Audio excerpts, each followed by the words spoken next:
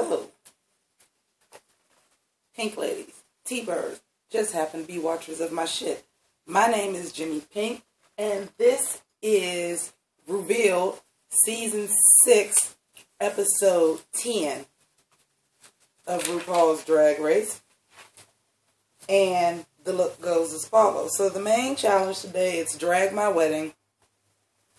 So the goal was to dress up the grooms in drag as brides and the women be dressed as the mother of the bride. So I'm giving you a little bit of a drag style wedding, even though this wig and this hat are not cooperating. I made this fucking hat out of cardboard, by the way. I would just like let, let that be known that yes, I did. I was getting up. I was getting up in my costume and gig, y'all. Like I was filling my oats making stuff for these episodes. I will warn you, I have no idea what the fuck I'm wearing for the fucking drag ball next week. But anywho, let's get up in this gig. So again, I'm so sorry to have to call bullshit on RuPaul's Drag Race yet again. But let me get my fan out because it's going to be a little bit shady in this bitch. So, number one, okay, if you wanted to do a challenge in an episode that was all around marriage equality, I think that it's a fantastic idea. I think this is an excellent platform on it. This is the flagship show of the gay network. I would not expect anything less. However, like Joslyn Fox's look last week, the execution was shit like Joslyn Fox's this week. The execution was poor. I hope y'all don't mind. The wedding is over. Mama done already took off her shoes. We at the reception now. I done had a couple drinks. The gloves got to go. I'm going to keep the hat on, though, because I don't feel like putting on sunglasses. And I made this bitch for this motherfucking episode. And I'm kind of fucking feeling my fantasy. It ain't the best. We'll get better at that next time. So, anyhow. Um, let's get up in this gig. So, the mini challenge. In honor of marriage equality, I'm going to do a collection of paintings that I want y'all to twerk to fucking Geronimo and do abstract paintings with your padded body. What? What does that have to do with marriage equality? Let's start. Let's let's start there. That was an excuse. That was a mini challenge that y'all came up with that y'all didn't know what episode y'all wanted to fucking stick it on. Okay, y'all didn't know what episode y'all wanted to stick it on, so you stuck it on this one, and made up a reason for it to be a thing, and really it was just an excuse to promote that damn song Geronimo, which by the way I did buy from iTunes. That's my shit.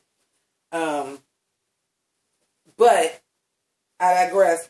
Where does that have anything to do with marriage equality? Is my question. Okay. Um, number two. How do you pick a winner out of that? Seriously, gracefully and grandly. How the fuck did y'all find a winner for that shit? People twerking and smearing their body paint. There was nothing about it that said marriage equality was because it was different colors of paint. Well, shit. What else was you gonna do? But I just, mm-mm, not feeling it. Bitch, don't kill my vibe. I was not feeling that at all. Um, the second part of why I said I felt like the execution was poor. So the main challenge, as I mentioned a little bit before when I was describing the look goes as follows. The main challenge was to have these married couples and you were dragging up the groom. Notice I said the groom, not one of the grooms. Rue is an ordained minister, so let's marry straight couples? Now I realize that gay marriage is legal in every state now. I get that now, not then. However, what was just wrong with getting guys that were engaged and just dragging them up in bride's gear. Like, why did it have to actually be weddings so you got straight couples? So what I'm saying is, is like, you have this episode that's completely focused around marriage equality, but showed nothing that had to do with marriage equality. Does that make sense? Does, does that make sense? Y'all, y'all, y'all follow where I'm coming from with that? Like, I, I, I just wasn't getting that. Okay. So let's get into the challenge, which was you were drag mothers to these drag, to your drag daughters, um, and what they want for their wedding. Now, I know the last episode I was bitching. And I'm a bitch about this one too. The rewatch quality of RuPaul's Drag Race now, knowing the shade and shit and the shady editing, and knowing as much as we know, makes it a very hard rewatch because now I find myself doing something that I did not want to do on the channel, that I didn't want to do, period, because RuPaul's Drag Race is quite arguably my favorite television show. Um, I don't know another show that I watched from the beginning that I'm there, right there, downloaded the Logo app because, oh, uh-uh, if I ain't at work, I got to be able to watch it when it come on. I don't know another show for me that I do that. So it has to be my favorite show. And I'm finding it hard to rewatch because as shit is coming out in the wash, I'm rewatching shit now, able to pick up on that. So one major problem I had is this.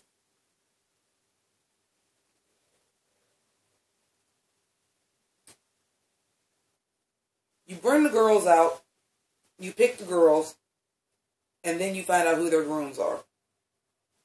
You have one black groom.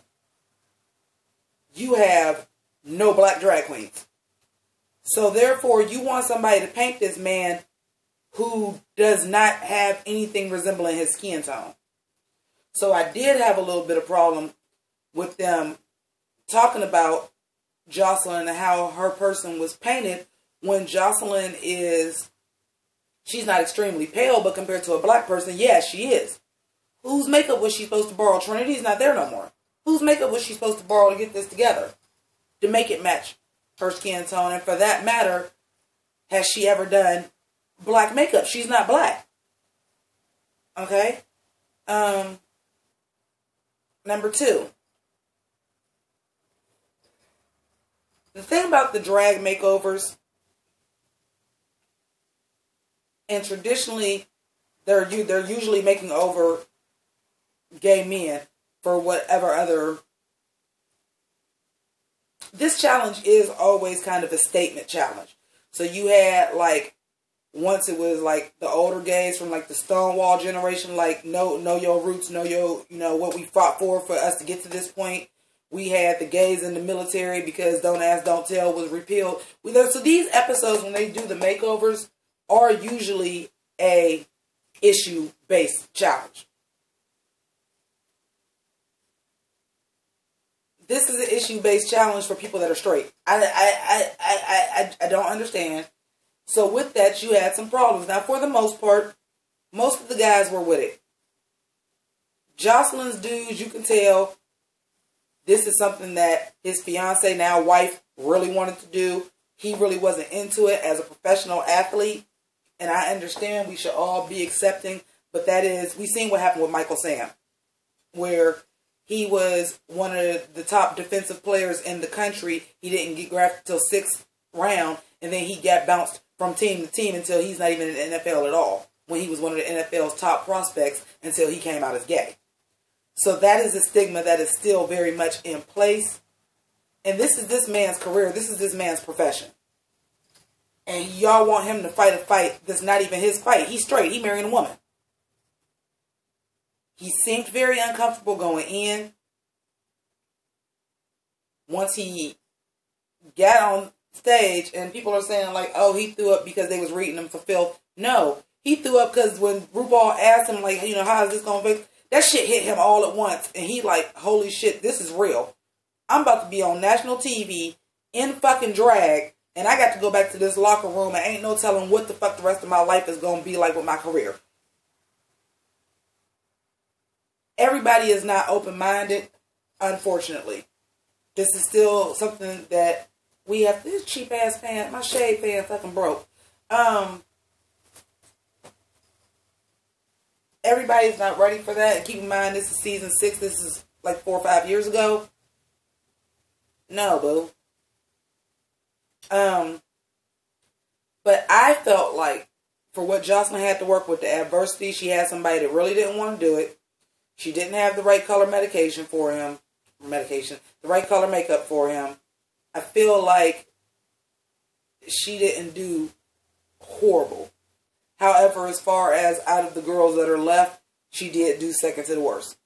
She should have been in the bottom, she was. The other person I have issue with the critiques was Darienne Lake. Because I know this editing, but RuPaul had this look on her face when she was making a black dress. First of all, if somebody is getting married and for a woman to give up her wedding day and her wedding dress to do this, and this particular guy was 100% gung ho down for it, it was his idea, and he said, I want to go goth. I'm not making you something that you don't want to wear. He seemed to be thrilled that his wedding dress was going to be black. So that little turn up at the nose, I wasn't feeling. I also feel like Darienne did a good job. What that man looked like and what that man came out looking like, that face was fucking beat. The dress was well fucking executed. And then they started reading her for filth about her outfit. Well, let me tell you something. And RuPaul should know better. You see, I ain't looking at my notes that much because this is some shit that I'm pressed about. Let's assume Darienne is not a drag queen, but actual an actual woman of that size. Let's start there. Let's say this man is not a man in drag, but a real bride that had this goth wedding. A, you're not going to shine your daughter up. B, you big. And C, you don't know how much money or how much effort it took for her to get her daughter ready. So, I'm sorry, was that B, C, D? Whatever letter of the alphabet I'm on. I have seen overweight women big like Darienne, wear this shit to a wedding. The mother of the bride, somebody that was a usher in the wedding. I've seen this.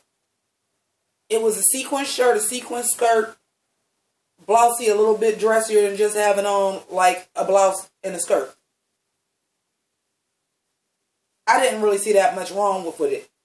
The counterpoint I'm going to make to that is Ben de la Creme which I do think did a fantastic job. I didn't see as strong of a family resemblance as I wanted to, but the dress was executed well.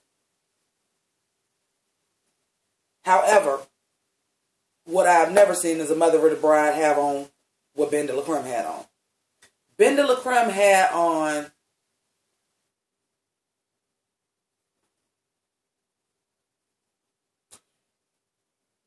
if there was a production in let's say Columbus, Ohio, Detroit, Michigan, a bigger city, but not New York or LA.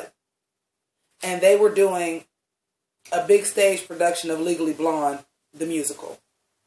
And then there's that scene where Elle decides she's gonna be her. So then she come up in the um, courtroom with like her pink on and her blonde hair flowing, yada yada yada. And now it's like I can be a lawyer and be me. That's the outfit. That's the outfit the costume designer would have made. That looked like Elle Woods in court. That does not look like the mother of the bride. It also looks like nine to five. Like it was a cute business suit. You might have would have wore that to church on Easter, but that didn't look like a mother of the bride outfit. So if you're gonna read Darienne, you gotta read Ben. This is the shit that I am starting to pick up on when y'all want certain people to go further than other people. I'm starting to pay attention to this. With that being said, Bianca obviously won this challenge. Obviously. She's a seamstress. She was able to execute herself a look and the bride look very quickly.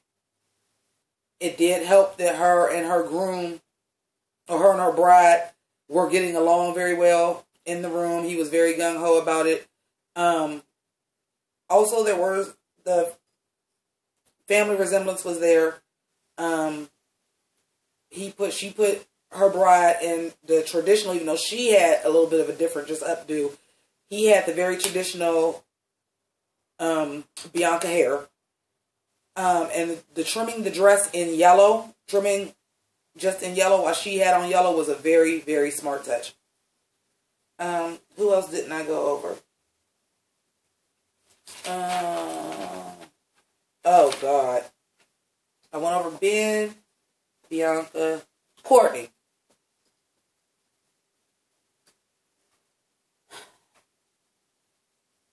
Unpopular opinion, I didn't think Courtney's bride's dress was that bad. I think if the length would have been right,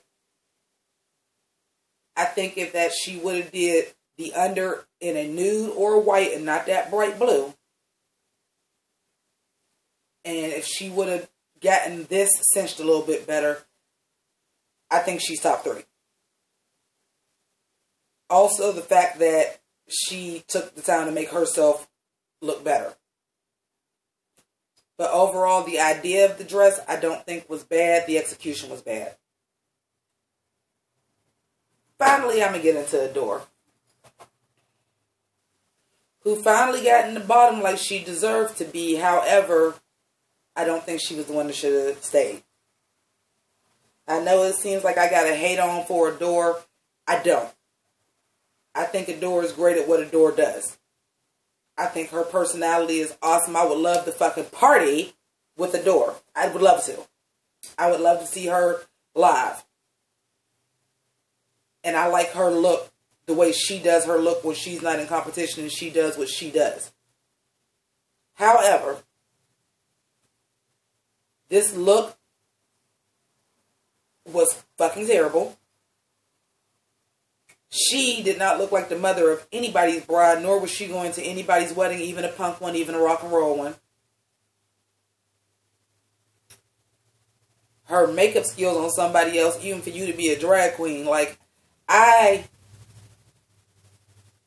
can do other people's makeup, but it's always gonna. But my makeup on myself is always gonna look better, even though I don't wear a lot of makeup on this channel because this is usually covered. But unless you're a makeup artist or you're already somebody's drag mother, you're gonna have a little bit of a problem putting on somebody else's makeup. Um, however, what she did do with makeup makes me question: Do she even put on her own makeup? Because I'm like, you had to put that on somebody else. That looked like my 18 year old niece, who has used to watch me put on makeup since I can remember, like two, three years old. The student has become the master. My niece is a fucking beast, y'all. I'm not even fucking joking. Even saying that, this looks like my niece putting on her makeup when she was six, playing in my stuff. I don't see you doing somebody else's makeup that fucking horrible. That to me sounded like, well, fuck it. I'm going to just try to get myself together at this point. Do you bang. Oh, something else I want to say when they were doing the vows. How cute was Darienne's couple by throwing in all the RuPaul's Drag Race references into their vows? Like, they're clearly super fans of the show. Like I said, it was the groom's idea to get married on the show. Like, how fucking great were they? Like, I just love them as a fucking couple. Um, and apparently they've known each other for 35 years. Bang! But I, I, I was living for them. I was just living for them. And he looked fucking he looked fucking sickening to me. Like I thought that makeup and everything was on point. Like he looked like a completely totally different person. I think he looked the most like a girl out of everybody to me. But I digress. Um, so we get to this lip sync, and I'm sorry I took my notes all kind of crooked this time. Okay, so this lip sync. I don't got the shade fan no more, so let me see if I got a lighter. I don't. So I'm going to try to stay calm. So you have them lip syncing to Aretha Franklin. The Queen of Soul. the number one artist, the number one female artist, in, as far as rock and roll is concerned, in every motherfucking survey they've ever taken. Aretha will take your ass to church. Like Joslyn was performing it. Adore was manic pixie girling all over the goddamn stage and she won. That shit pissed me off. When you are doing Aretha Franklin and you're lip syncing Aretha Franklin to me, and I understand everything is interpretive, but especially the, the voice over Adore saying, I never even have a plan for a song. You is out there, like I said, Manic Pixie Dream girling it up all over the stage. You all harsh. Your movements is harsh. You jumping all around. You mad. You angry, which the song is angry. However, the song is taking you to church, especially when it hit the part freedom. And Joslyn Fox nailed that shit. Like when somebody is lip syncing to Aretha Franklin, that's what I'm expecting to see. I'm expecting you to go to church. She was going to church. She was going to church. But y'all sent Joslyn home. Overall, and this is, I think I said this last week too how much do the runway really fucking weigh in? Because this was the entire challenge was the runway this time.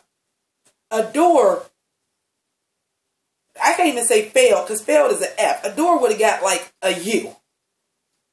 Unsatisfactory and all the way down the motherfucking alphabet. Joslyn got a D minus.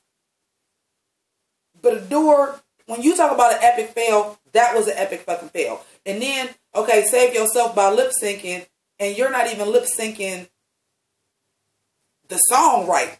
She was hitting the words. She was entertaining to watch. I'm not going to say it was a bad lip sync. I just feel like Joslyn embodied, excuse me, Joslyn embodied the energy of the song much better. But of course, let's save Adore again. I can't. Um, I'll see y'all next week for RuPaul's Drag Race RuVealed and whatever else is coming up this week. You know, I drop I drop videos like I change my panties some some weeks, so ain't ain't no telling. But I want to thank you all for watching.